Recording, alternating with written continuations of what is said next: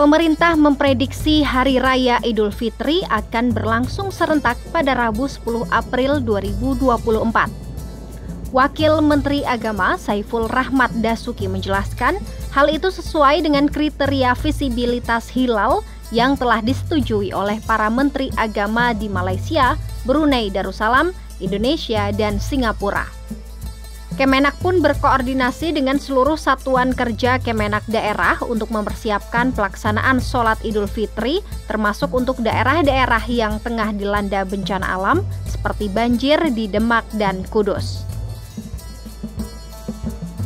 Sebelumnya, Menteri Koordinator Bidang Pembangunan Manusia dan Kebudayaan Muhajir Effendi juga menyebut 1 Syawal 1445 Hijriah kemungkinan akan jatuh pada 10 April 2024. Namun, pemerintah tetap akan menggelar sidang isbat pada 9 April 2024. Puncak mudik diperkirakan akan terjadi tanggal 5 sampai 8 April 2024. Kemudian Idul Fitri hampir bisa dipastikan jatuh tanggal 10 April 2024. Nanti kalau ada pertanyaan silahkan nanti bertanya kepada Pak Wakil Menteri Agama. Arus balik diperkirakan akan terjadi tanggal 13 sampai 16 April 2024.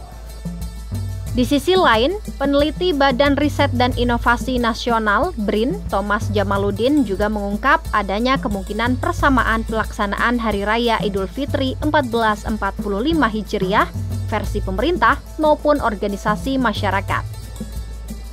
Ia menerangkan pada 9 April 2024, posisi bulan di wilayah Indonesia sudah cukup tinggi, lebih dari 6 derajat dan elongasi sekitar 8 derajat. Faktor itu secara hitung-hitungan sudah memenuhi kriteria Mabims, yakni minimal 3 derajat dan elongasi 6,4 derajat. Di sisi lain, Muhammadiyah telah mengumumkan bahwa Idul Fitri 1 Syawal 1445 Hijriah bertepatan dengan 10 April 2024. Hal itu diumumkan pimpinan pusat Muhammadiyah pada 20 Januari 2024 lalu.